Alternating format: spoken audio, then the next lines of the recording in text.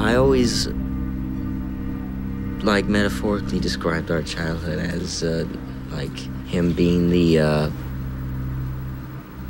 landowner and us, the people who work on the land. My parents didn't encourage us to communicate with society, so we were kind of shut off.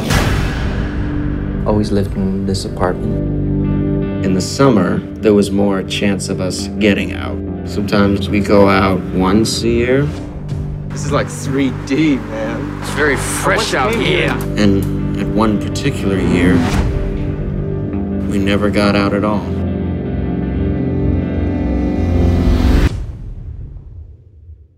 So movies opened up another world. If I didn't have movies, life would be pretty boring.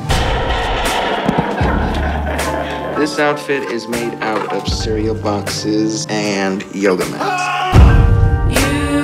We didn't make any friends. We were homeschooled. I did everything I could to escape my world.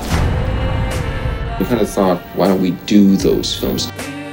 It makes me feel like I'm living, sort of, because it's kind of magical. I remember being very scared of going out into the world. He thinks there's somebody following us. I guarantee there's somebody following us. My father, his system was just like a ticking bomb. I was always afraid that I had so little knowledge being in my home all the time that I wouldn't know where to start. I think most people would go insane after experiencing a life like that.